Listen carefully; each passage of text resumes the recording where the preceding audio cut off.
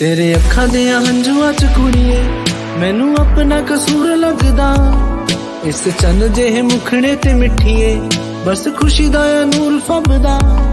ਗੱਡੀ ਕੱਢ ਲਈ ਤੇ ਖਿੱਚ ਲਈ ਤਿਆਰੀ, ਮੈਂ ਤਾਂ ਹੁਣ ਸਾਡੇ ਦਿਲ ਦੀਆਂ ਰਾਹਾਂ ਉੱਤੇ ਚੱਲਿਆ। ਨਾਲ ਚੱਲਣਾ ਤਾਂ ਚੱਲ ਸੋਣੀਏ ਮੈਂ ਤੇਰੇ ਬੁੱਲਾਂ ਦੀ ਹਸੀ ਨੂੰ ਲੈਣ ਚੱਲਿਆ। ਜਿੱਦ ਬਿਨ ਮੇਰੇ ਮੁੱਕ ਜਾਣ ਸਾਂ, ਇਸ ਮਿੱਠੀ ਜੀ ਹਸੀ ਨੂੰ ਲੈਣ ਚੱਲਿਆ।